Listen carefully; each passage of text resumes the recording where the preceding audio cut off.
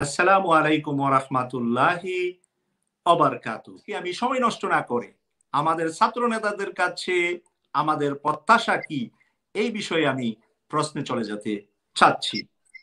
একবিংশ শতাব্দীর তথ্য প্রযুক্তি ও সভ্যতার সর্বোচ্চ উৎকর্ষতার এই যুগে একজন তরুণকে কেন বাংলাদেশ ইসলামী ছাত্র শিবির করা লাগবে? এই বিষয়ে আমার প্রশ্ন, জনাব সালাউদ্দিন আইয়ুবী সাহেবের কাছে। আবারও শুভেচ্ছা জানাচ্ছি, অসংখ্য ধন্যবাদ জানাচ্ছি স্যার মাসুদ ভাইকে।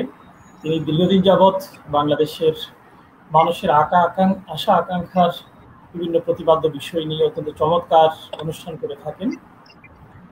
আজকের এই আয়োজনে সম্মানিত মেহমান সোয়েরা মধ্যে আমাদের কাছে উপস্থিত হওয়ার কথা ছিল। আল্লাহর কাছে প্রার্থনা করছি আল্লাহ তালা তাকে আশঙ্কা মুক্ত করে আমাদের সাথে যুক্ত হওয়ার তফিক দান করুন। আবারও ধন্যবাদ জানাচ্ছি আব্দুর রহমান ফারুকি ভাইকে আমাদের সাথে সময় দেওয়ার জন্য। আমি শুভ কামনা জানিয়েই আপনার প্রশ্ন উত্তর দিতে চাই। সম্মানিত উপস্থিতি, বাংলাদেশের স্বাধীনতা অর্জিত হয়েছিল একটি রক্তক্ষয়ী যুদ্ধের মধ্য দিয়ে। উনিশশো একাত্তর সালের সেই রক্তক্ষয়ী যুদ্ধের অর্জিত বাংলাদেশের মানুষের প্রত্যাশা ছিল একটি স্বাধীন, সার্বভৌম, শান্তিপূর্ণ পৃথিবীর নাগরিক হবে তারা। তারা বাংলাদেশের দুঃখ, দুর্দশা, বঞ্চিত, লাঞ্ছনার যে ইতিহাস, গঞ্জনার যে ইতিহাস, সেই ইতিহাসকে ভুলে যাবে। প্রতিটি পদপদে মানুষের সেই কষ্টের কথাগুলো আর কখনো স্মরণ করতে হবে না। কিন্তু দুঃখের সাথে আমাদেরকে দেখতে হয়েছে স্বাধীনতার কিছুদিন পরেই বাংলাদেশের মানুষের জন্য কষ্টের সেই ইতিহাসগুলোকে আবার স্মরণ করতে হয়েছে। আলহামদুলিল্লাহ, ছাত্র সমাজ বাংলাদেশের মানুষের সেই দুঃসময়গুলোতে সবসময় পাশে ছিল। বাংলাদেশের স্বাধীনতা যুদ্ধের ইতিহাসের সাথে বাংলাদেশের ছাত্র সংগঠনের, ছাত্র সংগঠনগুলোর সম্পর্ক যেভাবে, তার পূর্ববর্তী ঐতিহাসিক উনিশশো সালে ভাষা আন্দোলনের সরাসরি সম্পৃক্ততা রয়েছিল ছাত্রদের। শহীদ বরকত, সালাম, তাদের ইতিহাস, তাদের রক্তের বিনিময়ে, তাদের জীবনের বিনিময়ে অর্জিত হয়েছিল সেই ভাষা আন্দোলনের সফলতা। পরবর্তী সময়ে স্বৈরাচার বিরোধী আন্দোলন, তত্ত্বাবধায়ক সরকার প্রতিষ্ঠার আন্দোলন, কোটা আন্দোলন, নিরাপদ সুরক্ষা আন্দোলন, সম্প্রতি ধর্ষণ বিরোধী আন্দোলন চলমান গণতন্ত্রের যে আন্দোলন, সেই আন্দোলনগুলোতে ছাত্ররাই মূলত নিয়ামত শক্তি। এজন্য বলা হয়, ছাত্র রাজনীতি হলো বাংলাদেশের নেতৃত্ব তৈরির বাতিঘর। সেই বাতিঘরের জায়গায় যখন পোকা ধরেছিল, যখন ছাত্র সংগঠনগুলোর নেতৃবৃন্দের হাতে অস্ত্র তুলে দেওয়া হয়েছিল, বই এবং কলমের পরিবর্তে অস্ত্রের জঞ্জানি জঞ্জনানি ছিল তাদের ক্যাম্পাসের মূল হাতিয়ার। ক্লাসগুলোতে শিক্ষককে শ্রদ্ধার পরিবর্তে অপমান করা হতো, লাঞ্ছনা করা হতো, ভালো ছাত্রদের দুষ্টের লালন করা হতো। যারা এই সমাজকে নিয়ে ভাবতো, তাদেরকে নিয়ে স্বপ্ন যারা দেখত, তাদেরকে ধ্বংস করার জন্য নানা পায়তারা চলছিল ঠিক সেই সময়। উনিশশো সাতাত্তর সালের ছয়ই ফেব্রুয়ারি ঢাকা বিশ্ববিদ্যালয়ের পবিত্রতম স্থানে বাংলাদেশ ইসলামী ছাত্র শিবির প্রতিষ্ঠিত হয়েছিল। বাংলাদেশের ঘনজন্মা ছয়জন বীর পুরুষের হাত ধরে। যারা পরবর্তীতে বাংলাদেশের ইতিহাসে এক অবিস্মরণীয় স্বর্ণযুগের সোনালী নাবিকের ভূমিকা পালন করেছিলেন। সেই সময় প্রথম কেন্দ্রীয় সভাপতি যিনি ছিলেন যিনি ছিলেন মীর কাশেম আলী ভাই। আপনারা জানেন, শুধু বাংলাদেশের নয়, বিশ্ব ইসলামী অর্থনীতির এক অপূরণীয় ব্যক্তিত্ব ছিলেন মীর কাশেম আলী ভাই। তিনি তার কর্মের মধ্য দিয়ে এই পৃথিবী থেকে যারা তার বিরুদ্ধে ষড়যন্ত্র করেছিল, তাদের ষড়যন্ত্রের মুখে কালিমা লেপন করেছিল।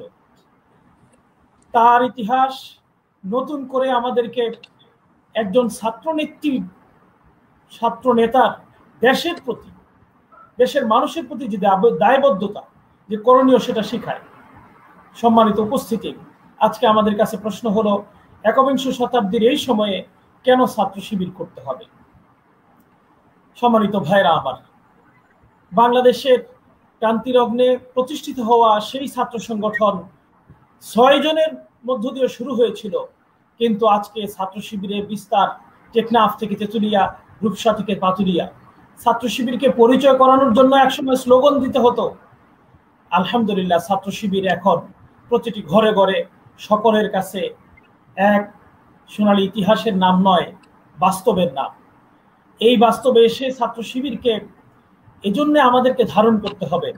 বাংলাদেশের মানুষের কাছে আল্লাহ তালার পক্ষ থেকে প্রদত্ত নিয়ামতগুলোর তালিকা যদি করা হয়, যেগুলো আল্লাহ তালা বাংলাদেশের মানুষকে উপহার দিয়েছেন, তার তালিকা গুণে শেষ করা যাবে না। বাংলাদেশের সবচেয়ে বড় সংকটের নাম হলো আল্লাহ প্রদত্ত সেই নিয়ামতগুলোকে অপব্যবহার করে বাংলাদেশের ভবিষ্যৎকে উজ্জ্বল করার জন্য যারা কাজ করছে তাদেরকে রুখে দিয়ে বাংলাদেশকে ধ্বংসের কাতার নিয়ে যাচ্ছে যে এই নেতৃবৃন্দ, সেই নেতৃত্বের সংকট। বাংলাদেশে রয়েছে গ্যাসের খনি, বাংলাদেশে রয়েছে সুন্দরবনের মতো ম্যানগ্রোভ ফরেস্ট, বাংলাদেশে রয়েছে পৃথিবীর সবচেয়ে বড় সি বিচ পর্যটনের সমূহ সম্ভাবনা। সবচেয়ে বড় সম্পদ হলো বাংলাদেশের মানব সম্পদ। সেই সম্পদগুলোকে ধ্বংস করে দেওয়া হচ্ছে। নেতৃত্বের সবচেয়ে বড় কালপ্রিট দুর্নীতির মধ্য দিয়ে। আলহামদুলিল্লাহ, ছাত্র শিবির তার শুরু থেকে, সাতাত্তর সাল থেকে শুরু করে আজ পর্যন্ত যে নেতৃত্ব গড়ে তুলেছে, নেতৃত্বের কোথাও কখনো কোনোভাবেই কোথাও পাওয়া যাবে না যায় বাংলাদেশ ইসলামী ছাত্র শিবিরের কোনো নেতা, কোনো দুর্নীতির সাথে জড়িত, কোনো ধর্ষণের সাথে জড়িত, কোনো চাঁদাবাসী চাঁদাবাজির সাথে জড়িত। নৈতিকতা বিবর্জিত কোনো কাজের সাথে জড়িত। গতকালকে মাদক দিবসের আলোচনায় সবাই আমরা বলেছি কোনোভাবেই কোনো মাদকের সাথে ছাত্র শিবিরের একজন কর্মীর কোনো সম্পৃক্ততা নেই। মাদক বহন মাদক গ্রহণ মাদকের মামলায় কারাগারে যাওয়া কোনো ব্যক্তির সাথে ছাত্র শিবিরের ন্যূনতম কোনো সম্পর্ক নেই। আলহামদুলিল্লাহ ছাত্র শিবির এই যে সংকট মুক্ত নেতৃত্ব তৈরি করছে বাংলাদেশকে যদি আগামী দিনে সেই নেতৃত্ব উপহার দিতে হয় বাংলাদেশের সম্ভাবনাগুলোকে যদি কাজে লাগাতে হয় বাংলাদেশকে যদি সোনার বাংলাদেশে রূপান্তরিত করতে হয়, আপনার সন্তানকে যদি নৈতিকতা পূর্ণ করতে হয়, আপনার ভাইকে যদি দেশপ্রেমিক করতে হয়, সৎ করতে হয়, যোগ্য করতে হয়, তাহলে ছাত্র শিবিরকে সাথে নিয়ে আপনার সন্তানকে গড়ে তুলতে হবে। আপনার ভাইকে গড়ে তুলতে হবে, ছাত্র শিবিরে সম্পৃক্ত হতে হবে। ধন্যবাদ জনাব সালাউদ্দিন আইবি সাহেব।